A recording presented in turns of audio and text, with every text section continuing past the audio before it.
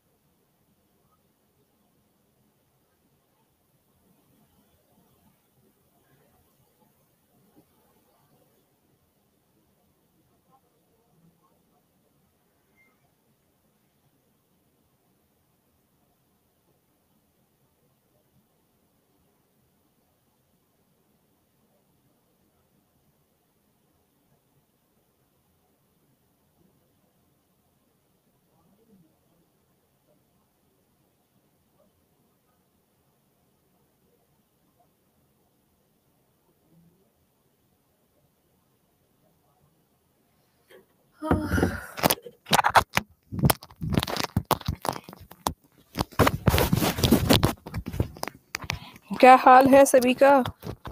बढ़िया। हम्म। कैसी तैयारी चल रही है?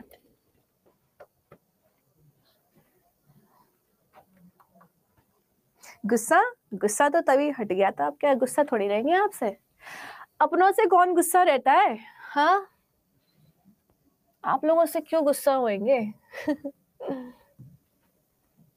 कहा जाएँगे गुस्सा होके और आपसे?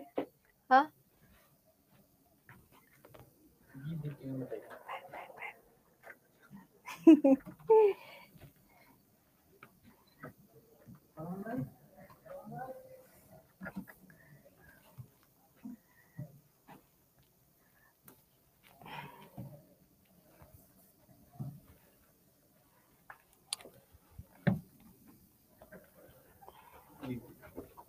Thank you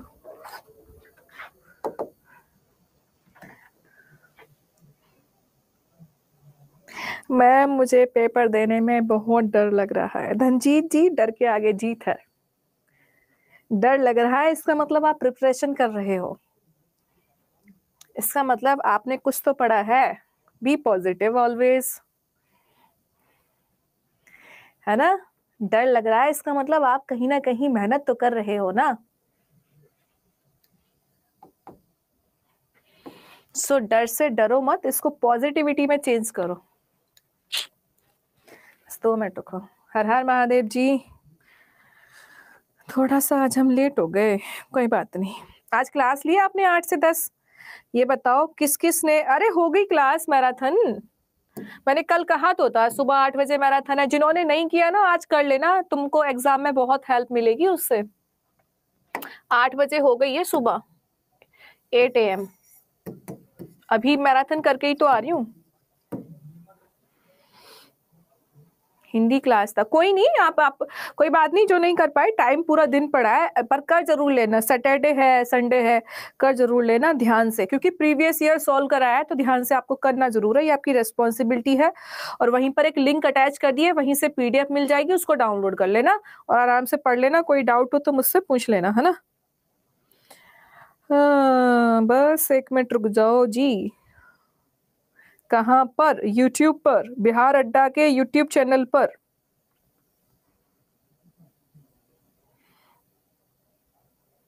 hmm.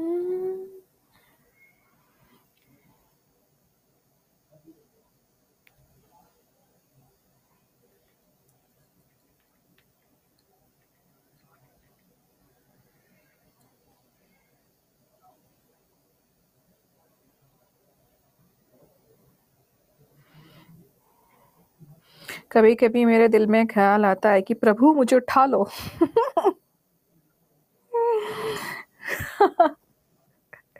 मैम, आज आप ब्यूटीफुल लग रही हैं। ऐसा कुछ नहीं है। कल तुम इन्हीं बालों, खुले बालों को काली माता का नाम दे रहे थे।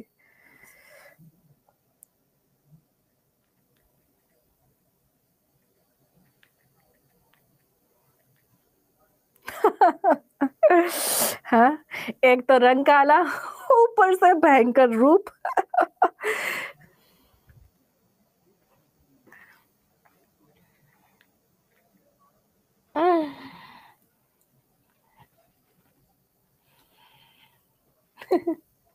मेरे को भी हँसी आ गई। कोई बात नहीं।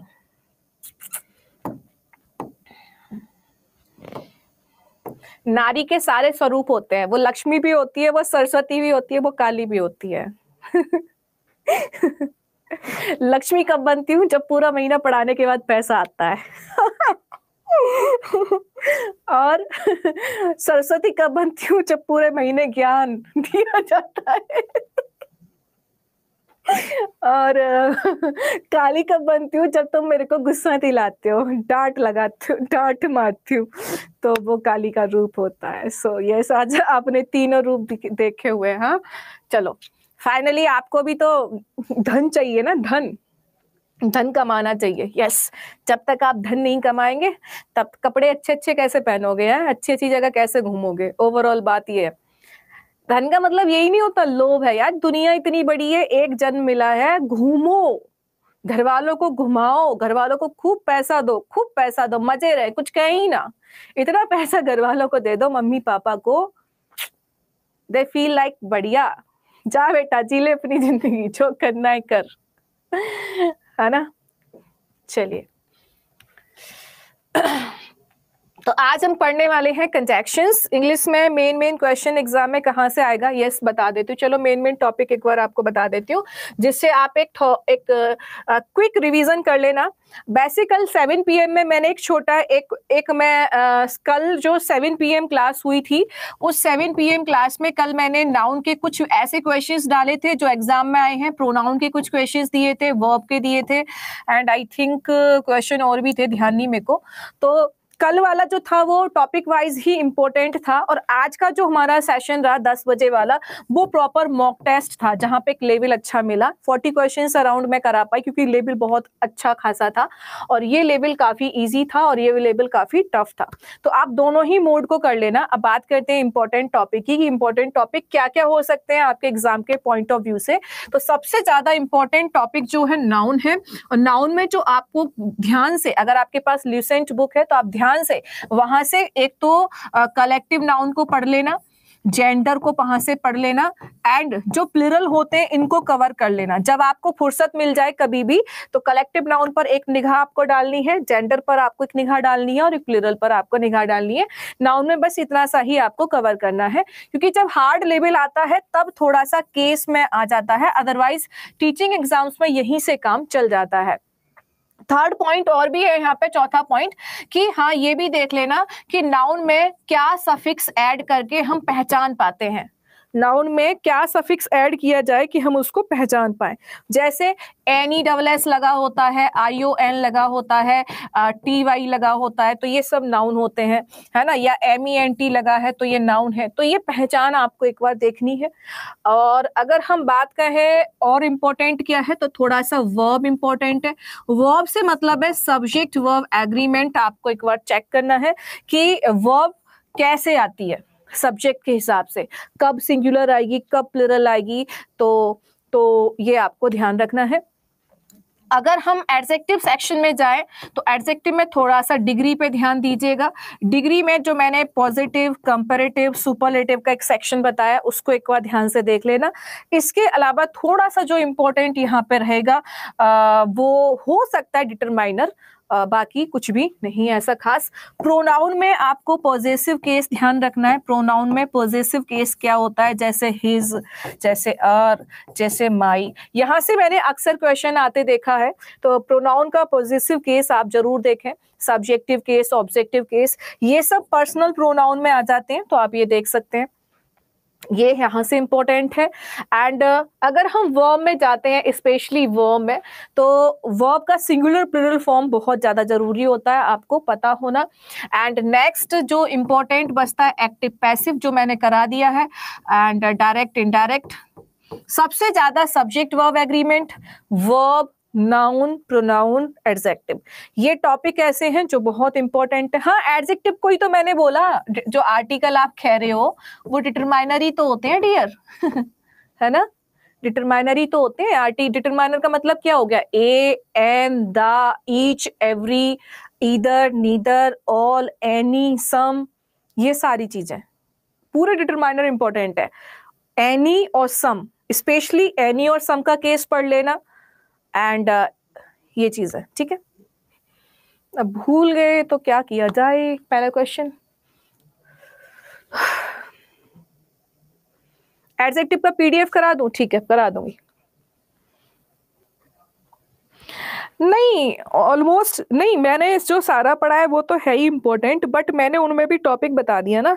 ऐसा नहीं कहा ना कि आपको एडजेक्टिव में पढ़ाई तो टाइप भी होंगे बट वहाँ पे मैंने केवल डिग्री पे फोकस किया। पढ़ाया तो प्रोनाउन में बहुत कुछ होगा बट केवल पॉजिटिव प्रोनाउन पर स्पेशली फोकस किया। And reflexive pronoun yes emphatic pronoun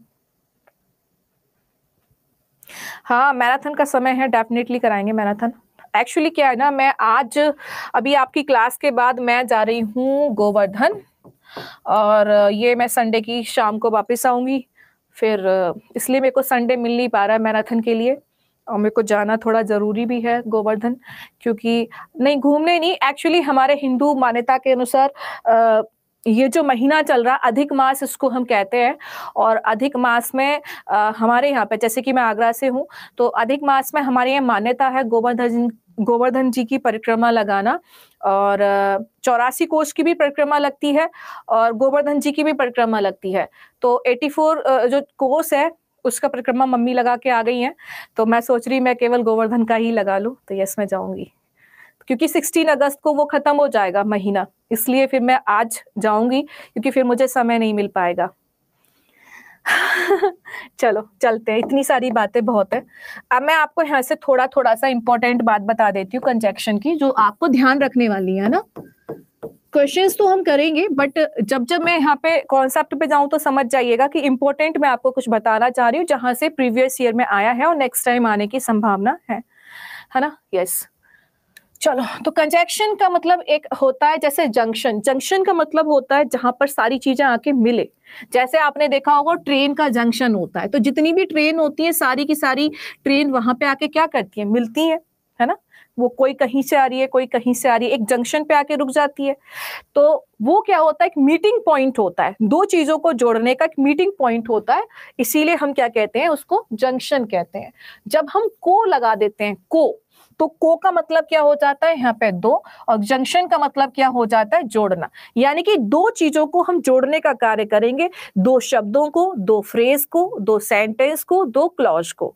और जो जोड़ने वाला शब्द होगा वही कंजेक्शन बन गया, क्योंकि को का मतलब क्या है? दो, और जंक्शन का मतलब क्या है? जोड़ना। तो अगर हम दो वाक्य जोड़े तो उस शब्द को हम क्या कहेंगे? कंजेक्शन दो फ्रेज जोड़े, कुछ भी।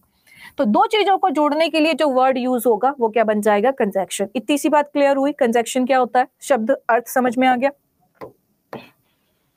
अब इंपॉर्टेंट कंजेक्शन कौन सा है, वो देख लीजिए। सबसे ज़्यादा एग्ज़ाम में जो हमें देखने को मिलता है, हमें हार्डली जैसे अब यहाँ दिया ही है तो इसी से शुरुआत कर लेती हूँ।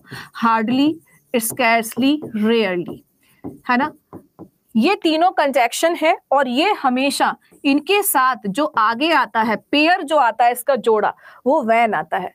हार्डली के साथ हमेशा क्या आता है? W H E N when hardly scarcely rarely इन तीनों का मतलब होता है मुश्किल से ही।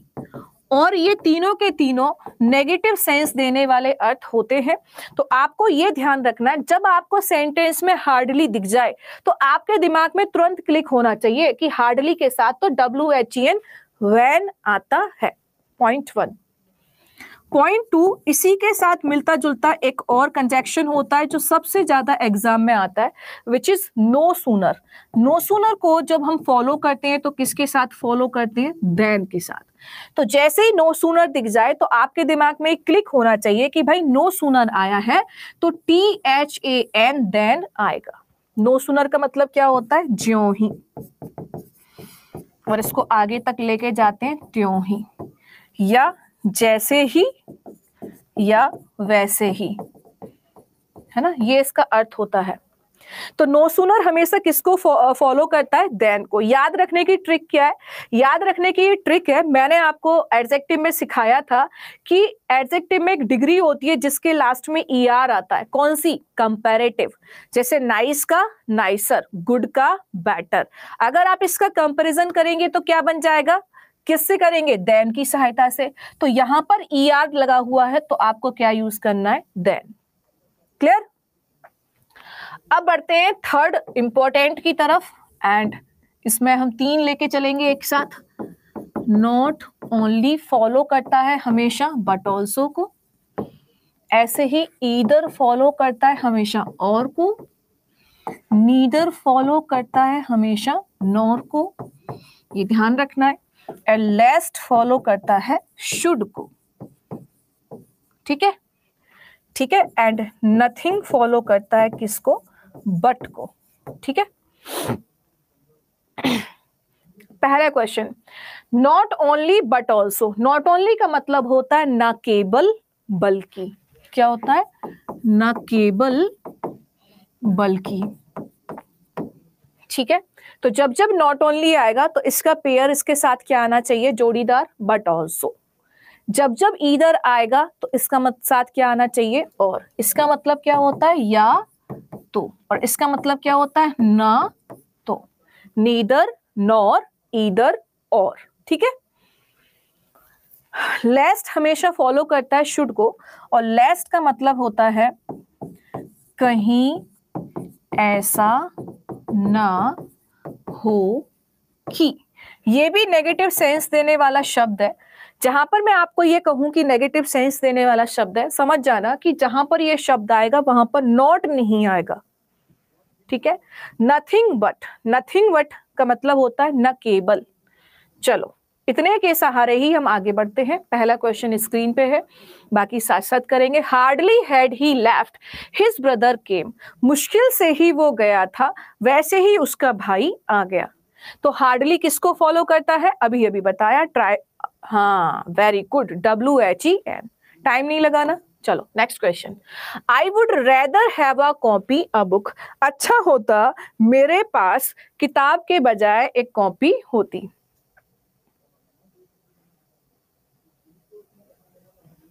हम्म।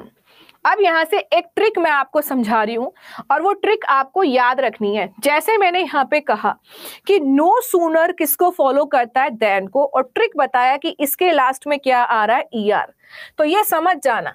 जब जब आपको क्या मिल जाए? R A T H E R rather O T H E R other या S double O N E R sooner तो इन तीनों के ही लास्ट में ई e आर आ रहा है ई e आर आ रहा है ई e आर आ रहा है। तो जब ये तीनों आएँगे तो समझ जाना T H A N than ज़रूर आएगा। फाइन अब वो ऑल अदर हो या एनी अदर हो? अब वो रेदर देन हो या किसी भी तरीके से दिया हो नो सूनर के साथ हो तो क्या आएगा? देन आएगा। So I would rather have a copy क्या आना चाहिए? T H A N then clear हो गया? Next question he is no other my friend वो वो कोई और नहीं है, बल्कि मेरा दोस्त है। वो कोई और नहीं है, बल्कि मेरा दोस्त है। तो अदर के साथ नो लगा है एनी लगा है ऑल लगा है, कोई दिक्कत नहीं है। आएगा हमेशा क्या? T H A N then next one he saw I snake he awoke उसने सांप देखा और वो जग गया, है ना? ये मैंने आपको T H E N then जो यूज़ देन का प्रयोग कंपैरिजन वाले पॉइंट के साथ करते हैं, जबकि T H E N then का यूज़ समय के लिए प्रयोग करते हैं।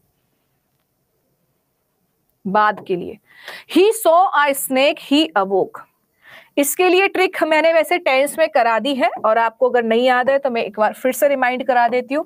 जब भी कभी आपको क्लॉज एक तरफ़ पास्ट मिल जाए, समझ जाओ, और उसके साथ डब्ल्यू एच ई एन दिया है तो डब्ल्यू एच ई एन के साथ हमेशा वर्ब की सेकेंड फॉर्म यानी कि पास्ट इंडेफिनिट टेंस आता है। अगर आपको इसी तरीके से बिफोर मिल जाए, और एक तरफ़ आपको पास्ट क्लॉज मिल रहा है तो दूसरी तरफ़ हमेशा वर्ब की सेकेंड फॉर्म यानी कि पास्ट इंडेफिनिट टेंस आएगा। अगर आपको सेंटेंस में आफ्टर मिल जाए तो डेफिनेटली यहाँ पर पास्ट परफेक्ट आएगा। ठीक है? ये पॉइंट आपको ध्यान रखना है। सो so, चलिए बढ़ते हैं। ही सो आ स्नेक ही अवोक आंसर क्या हो गया? When when he awoke he saw a snake जब वो जागा तो उसने सांप को देखा। Ten years have passed my grandmother died जब मेरी माता आ, मेरी माता जी को गुजरे दस साल हो चुके हैं।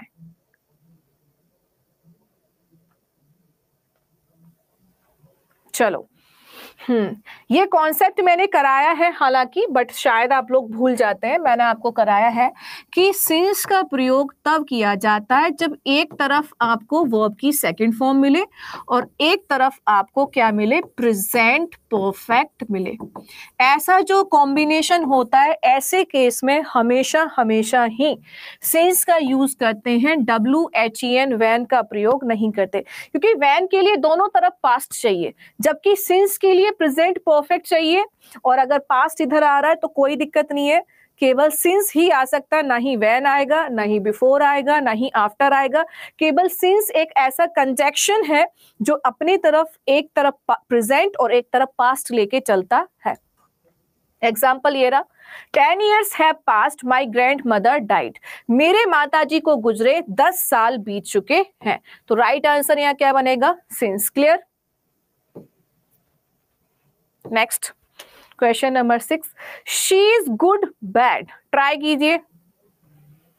अभी जो पेयर बताया, उनमें से ही कोई एक पेयर बनेगा। और आज ये चैप्टर खत्म। अब पेयर देख लो, किसका सही बन रहा है? ईदर के साथ क्या नॉट आता है? नहीं आता। क्या नीदर के साथ और आता है? नहीं आता। क्या नीदर के साथ नॉर आता है? बिल्कुल आता है। क्या नीदर के साथ देन आता है? नहीं आता। क्लियर हुआ सबको? कि नीदर के साथ हमेशा क्या आता है? नॉर।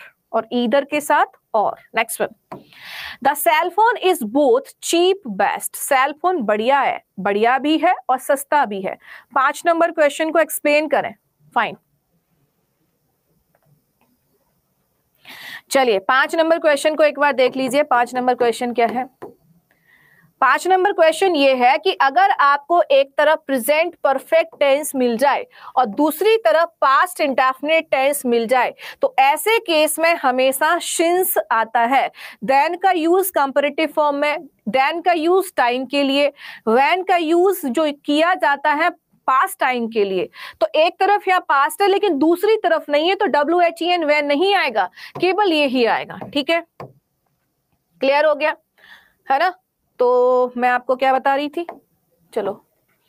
हाँ एक रूल मैं आपको समझा रही थी कि ऑलवेज कीप इन माइंड कि बोथ जो फॉलो करता है बोथ के साथ हमेशा एंड आता है। क्या आता है? बोथ के साथ।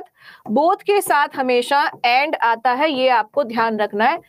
Both followed and both conjunction and को फॉलो करता है। इसी तरीके से बिटवीन कंजेक्शन भी हमेशा एंड के साथ आता है। ठीक है? बोथ के साथ हमेशा एंड आता है बिटवीन के साथ हमेशा एंड आता है और फ्रॉम के साथ हमेशा टू का प्रयोग किया जाता है। ये तीन पॉइंट आपको ध्यान रखने हैं। तो both cheap and best next one no sooner did the rogue see the police he disappeared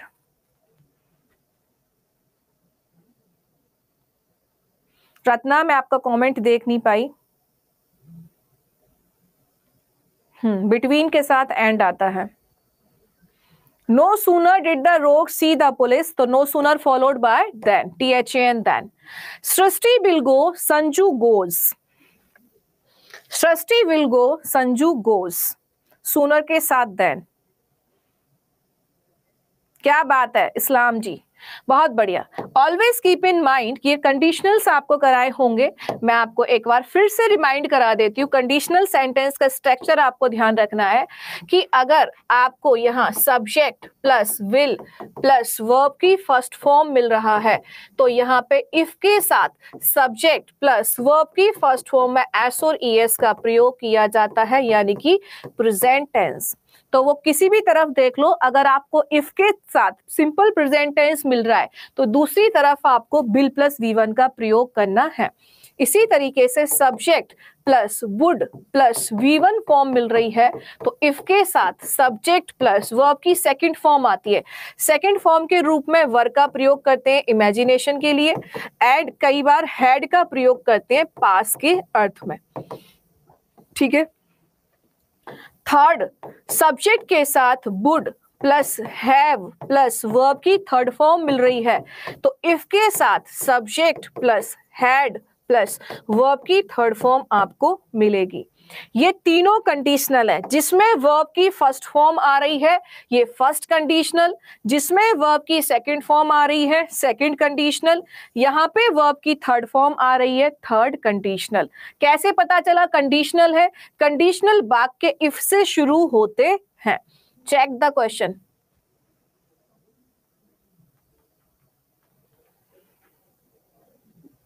else का मतलब अन्य होता है लेस्ट का मतलब होता है, कहीं ऐसा ना हो कि।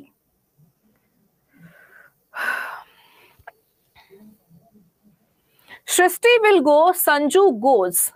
Dear dear it's ये जो समय है it's not for revision it's for mock test तो क्या आ जाएगा? If Srishti will go if Sanju goes यदि संजू जाता है तो सृष्टि भी जाएगी। She is wise timid she is wise timid बताइए, वह बुद्धिमान है और कैसी है? कायर है। कोशिश करो। क्या बात है? बहुत बढ़िया। ध्यान दीजिएगा ऐसे क्वेश्चन को जब आपको एक तरफ़ एक व्यक्ति की तारीफ़ कर दी कि वह कैसी है, बुद्धिमान है। दूसरी तरफ़ उसकी नेगेटिविटी दिखा दी कि बुद्धिमान तो है, लेकिन कैसी है, कायर है, डरपोक भी है। तो एक तरफ़ उसकी पॉजिटिविटी दिखाई और एक तरफ़ नेगेटिविटी जब ऐसा चीज़ें होता है तो इसको हम क्या कहते हैं? विरोधाभास। जहाँ पर विरोधाभास होता है, वहाँ पर बट का प्रयोग किया जाता है। अगर दोनों तरफ़ तारीफ़ की जा रही है कि he is wise and honest क्या लिखा होता कि वह बुद्धिमान है और ईमानदार है? दोनों तरफ़ तारीफ़ हो रही है तो दोनों तरफ़ पॉजिटिव सेंस आ रहा है तो हम एंड का प्रयोग करेंगे। एक तरफ़ पॉजिटिव और एक तरफ़ नेगेटिव सेंस आ रहा है तो हम किसका प्रयोग करेंगे? बट का। क्लियर और इंपॉर्टेंट भी है तो यहाँ पर आंसर क्या आएगा? बट हम्म जैसे he is he is wise and honest वह कैसी है? बुद्धिमान भी है और ईमानदार भी है। He is he is wise but timid वह बुद्धिमान है, लेकिन कैसी है? कायर है। Next one contradiction well done neither he his friend is good ना तो वो, ना ही उसका दोस्त अच्छा है। और कॉन्ट्राडिक्शन वाला इंपॉर्टेंट पॉइंट है neither nor either or important है। Very good neither followed by nor अब गलत नहीं होना चाहिए। जिसने गलत किया, उसका कुछ नहीं हो सकता। नीदर के साथ नॉर आता है। Nor the officer ask the peon why he was late officer ने प्योन से कहा कि वो क्यों लेट था। ये क्वेश्चन बनता है आपका प्राइवेट कर दू। ओके ये क्वेश्चन बनता है आपका इनडायरेक्ट स्पीच से। If if you remember indirect speech में एक रूल होता है कि सेट टू के प्लेस पर जब कोई क्वेश्चन वर्ड से सेंटेंस शुरू होता है तो आस्क आता है और इस क्वेश्चन वर्ड के लिए कोई अलग से कंजेक्शन यूज़ नहीं करते।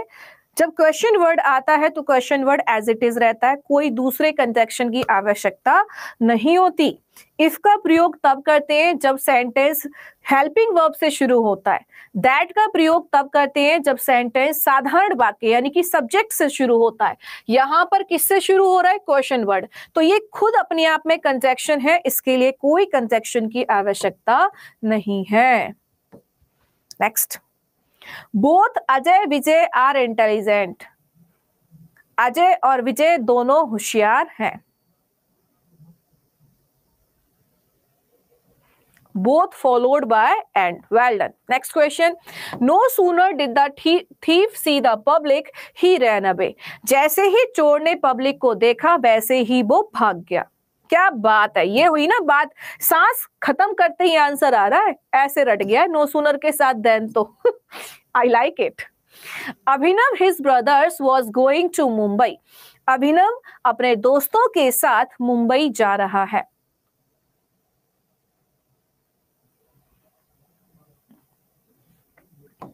ध्यान रखना, बट का प्रयोग कब कर रहे थे? जहाँ पर एक व्यक्ति की पहले तारीफ़ और उसके बाद बुराई तो ये तो हट गया।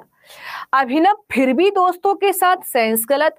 ध्यान रखना टुगेदर विद का मतलब होता है किसी के साथ। तो आंसर क्या आ जाएगा? Abhinav together with his brother was going to Mumbai. यहाँ से एक रूल मैं आपको याद दिलाना चाहती हूँ कि जिस सेंटेंस में टुगेदर विद आता है, ऐसे केस में इसके साथ वर्ब कभी एग्री नहीं करती। वर्ब हमेशा सब्जेक्ट वन के अनुसार आती है। अभिनव सिंगुलर है, इसीलिए आप देख पा रहे होंगे वर्ब कैसी आ रही है सिंगुलर ठीक। चलिए next question he behaves he were the captain of the team वह ऐसे बिहेव बर्ताव करता है मानो की मानो की टीम का कैप्टन हो। वह ऐसे बर्ताव करता है मानो की टीम का कैप्टन हो। ये भी कंडीशनल सेंटेंस का ही एक पार्ट है। दो होते हैं, एक एज इफ़ का प्रयोग किया जाता है। ये आपको ध्यान रखना है, दो पॉइंट दोनों पॉइंट पे ध्यान दीजिए।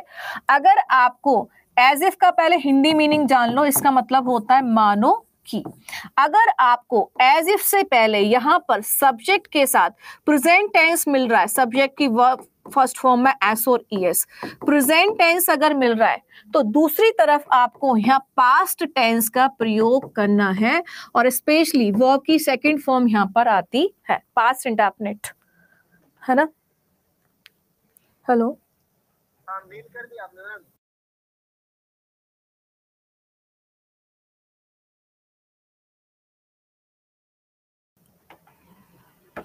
ठीक है तो एक और पॉइंट है यहाँ पर। अगर आपको एज इफ़ से पहले यहाँ पर कहीं आपको वर्ब की सेकंड फॉर्म यानी कि पास्ट इंडेफिनिट टेंस अगर आपको मिल रहा है तो ऐसे केस में आपको ध्यान रखना है कि यहाँ पर सब्जेक्ट के बाद हेड प्लस वर्ब की थर्ड फॉर्म आएगी।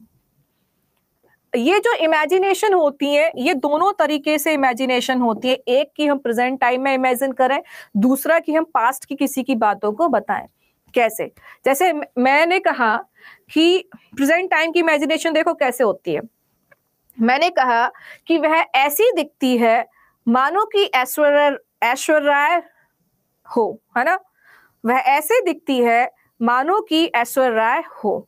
पहला पॉइंट प्रेजेंट ऐसी दिखती है, हम ऐसा अभी देख रहे हैं। दूसरा, वह ऐसे बात करती थी, मानो कि एक वक्ता थी, ऐसे। तो ये पास्ट का सेंस गया। तो जब पास्ट का सेंस जाएगा तो दूसरी तरफ़ पास्ट परफेक्ट आएगा। जब प्रेजेंट का सेंस जाएगा तो दूसरी तरफ़ पास्ट इंडेफिनिट आएगा। ये बात आपको हमेशा ध्यान रखनी है।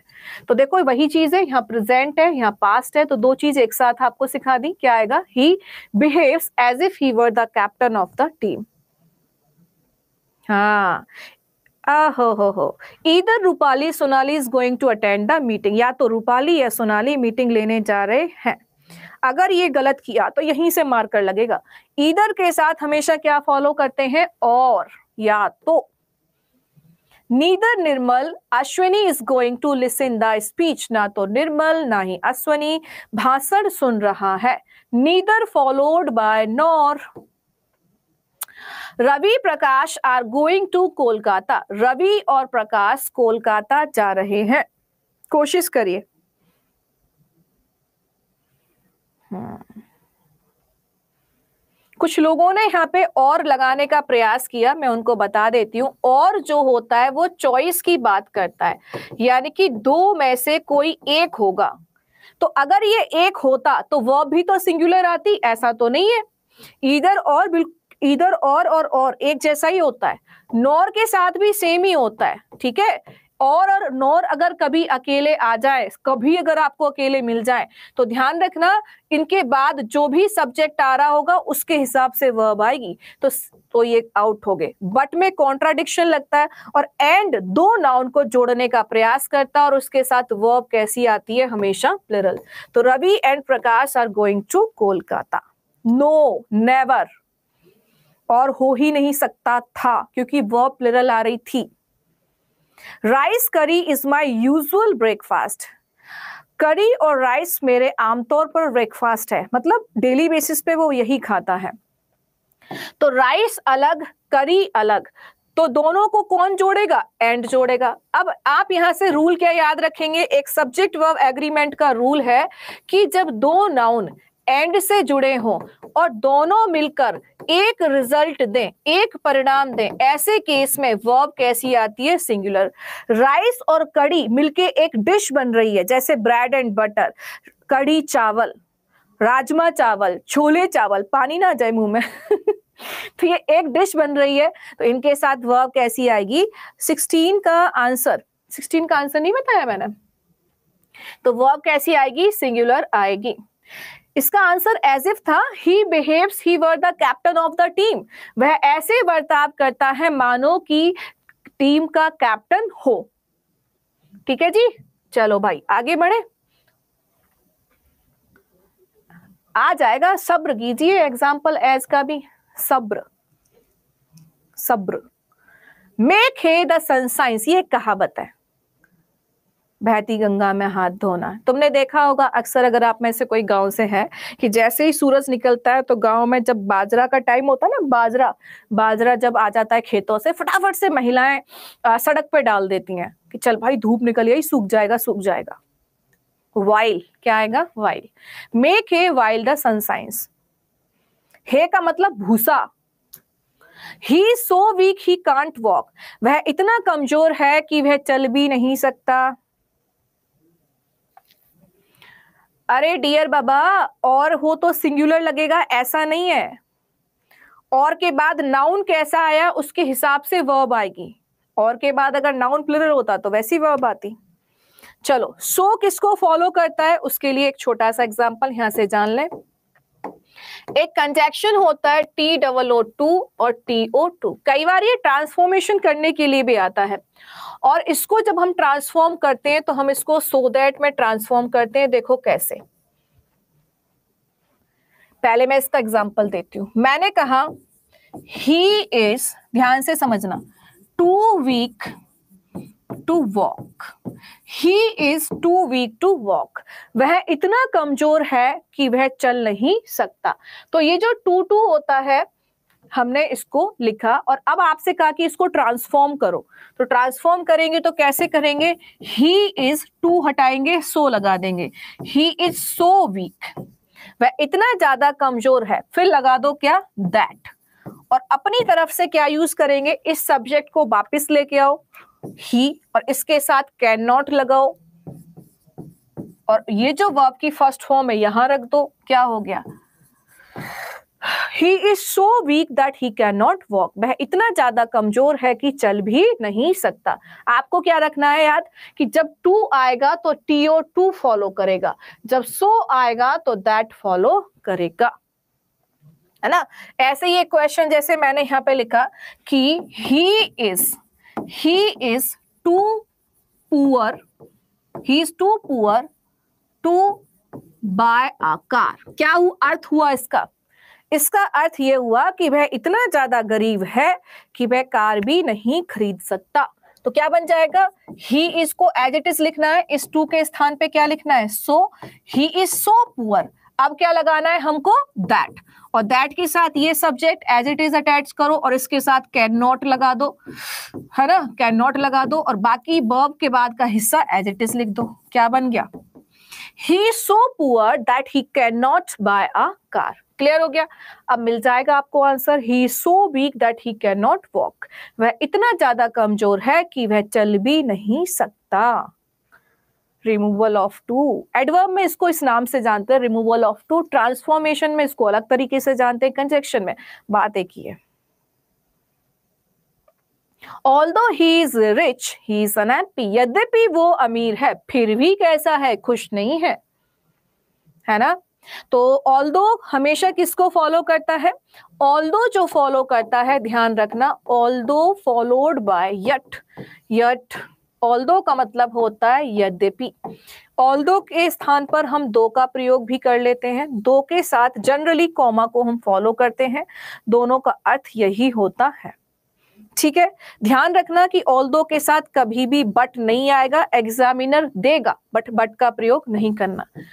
स्टिल भी देगा बट आपको इन दोनों में से कोई भी प्रयोग नहीं करना। ठीक है? Wait here I come back इंतज़ार करो, मैं वापिस आता हूँ।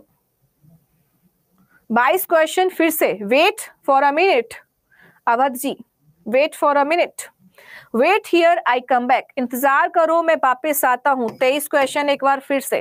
देखिए ऑल जैसे ईदर के साथ और आता है, वैसे ही ऑल के साथ हमेशा यट आता है।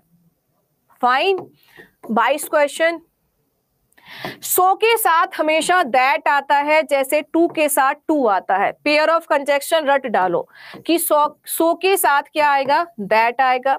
टी डब्लो टू दिया होगा तो क्या आएगा? टू आएगा। ऐसे आपको याद रखना है ना? अगर आपको ईदर दिया होगा तो क्या आएगा? और आएगा। हार्डली दिया होगा तो क्या आएगा? वैन आएगा। नो सूनर दिया होगा तो क्या आएगा? T H N. देन आएगा। इन बातों का आपको ध्यान रखना है। है ना? ऐसी ऑल दो दिया होगा तो क्या आएगा? यट आएगा। फाइन अब इस वाले रूल पर चलते हैं फटाफट से और समझते हैं क्या है। ध्यान रखना, दो वर्ड होते हैं हमारे पास। एक अंटिल होता है और एक होता है अनलेस दोनों के साथ हम नॉट का यूज़ नहीं करते।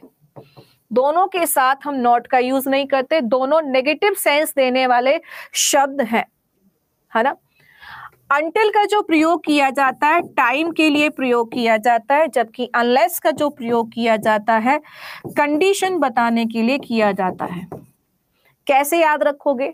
अनलेस का मतलब होता है इफ़ नॉट और थोड़ी देर पहले मैंने बताया कि इफ़ का प्रयोग कहाँ करते हैं? शर्त को बताने के लिए।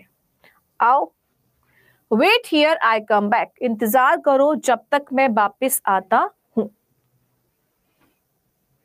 हम्म आप बता रहे हैं कि रिवीजन करवा रहे हैं। दोनों काम। क्योंकि आपको पेयर याद रखना है बस। चलो, बहुत बढ़िया। आंसर क्या है यहाँ पे?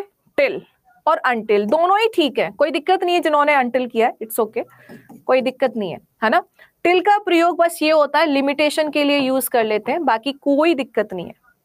ठीक है? कोई भी दिक्कत नहीं है। और बस पता है क्यों ये इसको मोस्ट अप्रोप्रिएट में लिया है?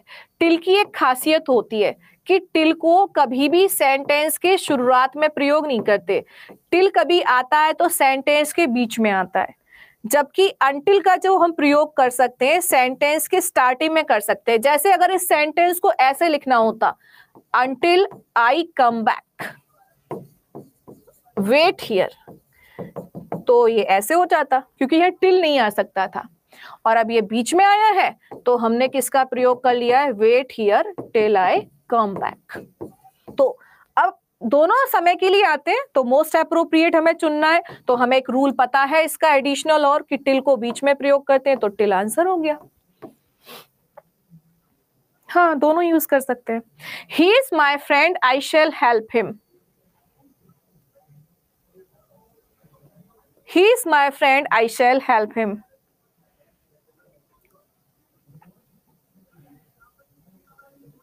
एक शर्त और याद दिला देती हूँ मैं आपको। टिल और अंटिल की, इन सभी की। टिल और अंटिल की एक शर्त याद रखना कि इनके साथ कभी भी विल या किसी भी मॉडल का यूज़ नहीं करते। इनके क्लॉज में कभी भी, किसी भी मॉडल वर्ब का यूज़ नहीं करते, कभी नहीं करते इनके क्लॉज में। किसी भी कंडीशनल वर्ड में नहीं करते।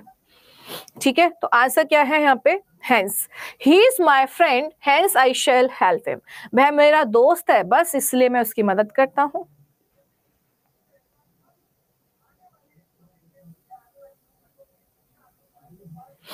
चलो हेंस एग्ज़ाम में ज़्यादा नहीं आता छोड़ सकते हैं। तो आज की क्लास को हम यहीं खत्म करते हैं। इतनी कंडीशन कैसे याद रहेगी? बहुत हार्ड है ही नहीं। मैं एक बार फिर से आपको जनरली रिवाइज करा देती हूँ। देखो यहाँ से एक बार फिर देख लो। देखो। आ, देखो दोबारा मैं समझा देती हूँ कि ईदर के साथ क्या आता है? और आता है। नीडर के साथ क्या आता है? नॉर आता है।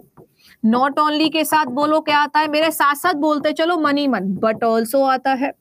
नॉट ओनली के साथ क्या आता है बट ऑल्सो आता है। अगर आपको नथिंग दे दिया तो नथिंग के साथ क्या आएगा कंजेक्शन के तौर पे? नथिंग के साथ बट आएगा है ना? इसका एग्ज़ाम्पल नहीं मिला ना जैसे आ, जैसे मैंने लिखा नथिंग क्या लिखू मैं यहाँ पे?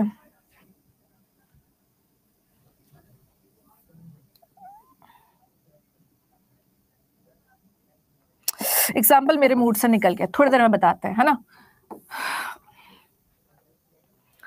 बस पीडीएफ अभी दे रहे हैं। कंजेक्शन और ध्यान रखो सो के साथ हम क्या यूज़ करते हैं? दैट का यूज़ करते हैं। सो के साथ एज का यूज़ करते हैं बट पॉजिटिव डिग्री के साथ। एज के साथ एज का यूज़ करते हैं, लेकिन कंपैरिजन में पॉजिटिव डिग्री के साथ ये मैंने आपको करा दिया है ना?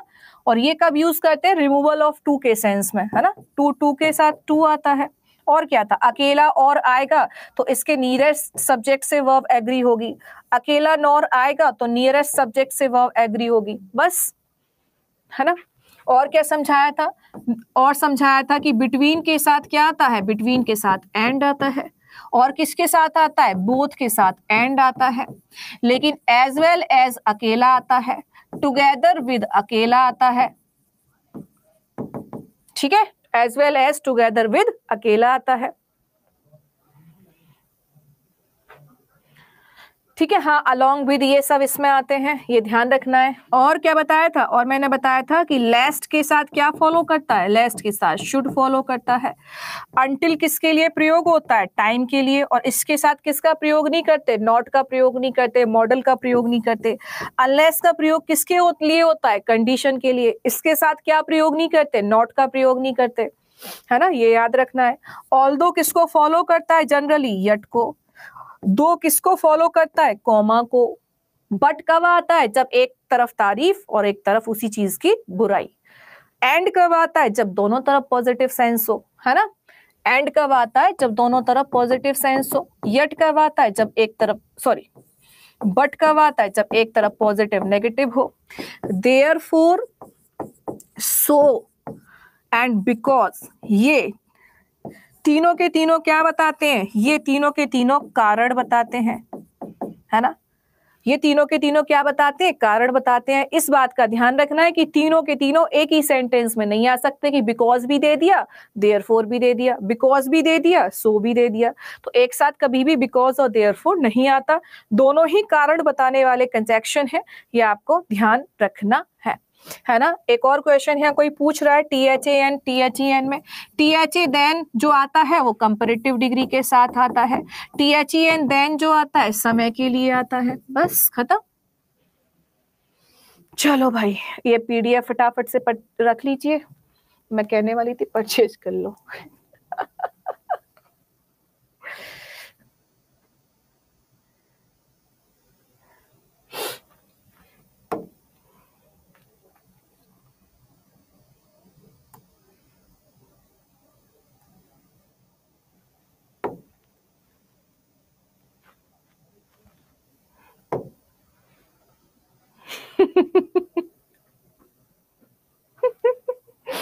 मेरी खुद की हँसी नहीं रुक रही है।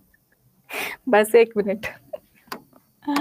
किस किस ने गदर टू देख ली हाँ? या एग्ज़ाम में गदर करने वाले हो, गर्दा उड़ाने वाले हो?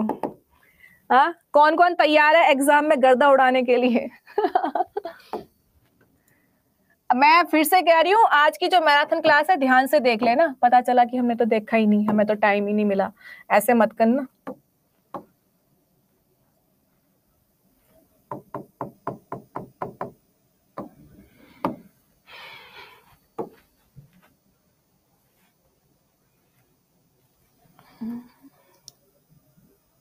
अरे, अभी जाएँगे थोड़ी देर में, बस अभी चले जाएँगे यहाँ से कुछ देर बाद ही। कुछ क्षणों के बाद हमारी गाड़ी प्रस्थान करेगी आगरा की तरफ़। और हम प्रस्थान करेंगे श्री कृष्णा की तरफ़। बोलो, राधे राधे।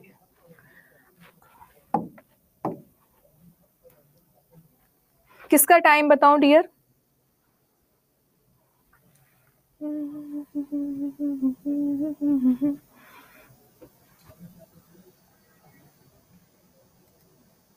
अभी तो बताया, कारण बताने के लिए डेयर फोर का प्रयोग करते हैं। रीजन कॉज कॉज थोड़ी था उसने कहा कि वो मेरा दोस्त है, बस इसलिए मदद करता हूँ।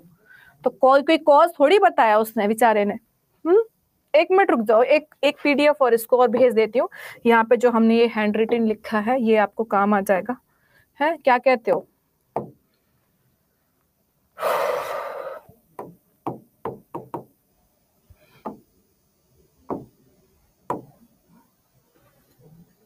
यूट्यूब क्लास आज सुबह आठ बजे कराइए, आठ बजे।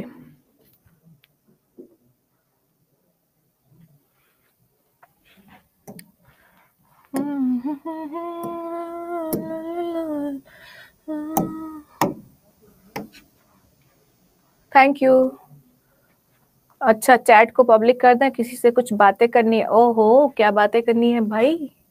हाँ? पिन कर दिया है। अब कोई डाउट त्रेपन हो गया है।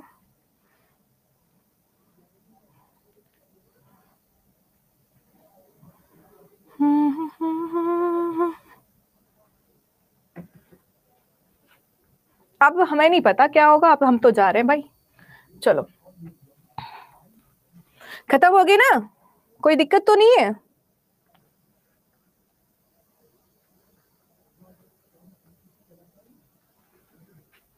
एक किसी का डाउट आ रहा था। T H N then T H N then उसको ये एग्ज़ाम्पल बोल रहा था देन देख लो। जैसे मान लो आप आपकी, आपके घर पे किसी ने आपको कहा, आपको किसी को कहा, मम्मी ने कहा, पहले अपना काम कर ले टीवी बाद में देखना। ऐसे बोलते हैं ना। First first do your homework first do your homework then watch the TV पहले अपना काम कर ले, फिर टीवी देखना हाँ? तो बाद में टीवी देखना।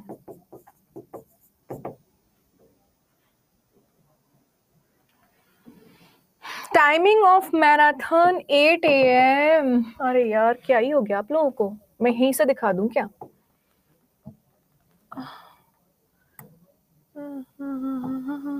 अगर दिख जाए तो दिखा देते हैं, नहीं दिखेगा तो कोई बात ही नहीं है। यहाँ से देखो, क्या कर रही हूँ मैं? बिहार अड्डा टू फोर सेवन ये किसी की लाइव क्लास चल रही है यहाँ पे। मेरी क्लास अभी थोड़ी देर पहले ही हुई है।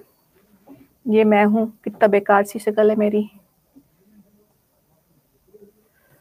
अबे क्या क्या आ रहा है अभी थोड़ी देर पहले ही कराया था।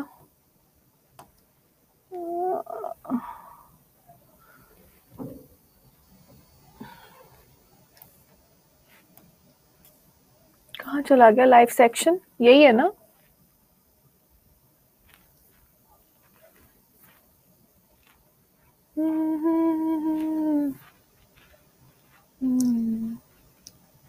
ये रहा लाइव सेक्शन लाइव पे चलते हैं डायरेक्ट ये अभी क्लासेस ये चल रही हैं और मेरी क्लास में यहीं कहीं पड़ी होगी।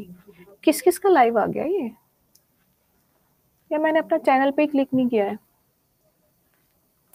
पता नहीं कौन टीचर है। इस पर डायरेक्ट चलते हैं? अब आ गया। मैं इतनी देर से कहाँ ही देख रही थी।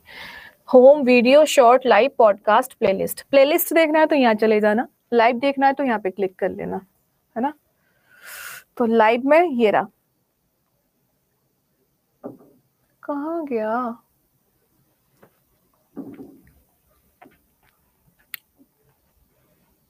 ये रहा। ठीक है? ये लिखा हुआ है, Bihar STET 2023 paper one paper two nine to twelve marathon English previous year question must watch before your exam इस क्वेश्चन को आप इस मैराथन को ज़रूर देख लो, ठीक है? ओके? और प्लेलिस्ट अगर देखनी है तो प्लेलिस्ट में जाके चेक कर सकते हो। एस्टेट की अलग से प्लेलिस्ट बन गई होगी तो वहाँ मिल जाएगा। ठीक है जी, जाए हम। नोटिफिकेशन आता नहीं है, ये बहुत सारे लोगों का इश्यू है। जब नोटिफिकेशन ना आए तो फिर direct Deepti Rajput English classes इस तरीके से या English by Deepti Rajput ma'am इस तरीके से डाल दो तो कहीं ना कहीं क्लास मिल जाएगी। फिर नोटिफिकेशन आना शुरू हो जाएगा। ये टेक्निकल ग्लिच हो गई है। बहुत सारे स्टूडेंट के पास नोटिफिकेशन आता ही नहीं है। आ, मेरी क्लास मंडे को होगी पेड वाली। यस नोटिफाई मी पे क्लिक करके जाओगे ना तो फिर डेफिनेटली मिलेगा। चलो भाई अब हम चलते हैं। मैं मेरी आपकी क्लास मंडे को भी होगी। यस मंडे को क्लास होगी? क्यों नहीं होगी? मंडे को क्या है? मंडे को क्या है भाई? मंडे को क्या है? Happy journey thank you ji Ranjan definitely आप सभी के लिए कृष्ण कन्हैया जी से कहेंगे, आपकी नैया पार लगाएँ। जी बोलिए अमन, घूमने जा रहे हैं। घूमने नहीं कहेंगे, दर्शन करने कहेंगे, परिक्रमा लगाने।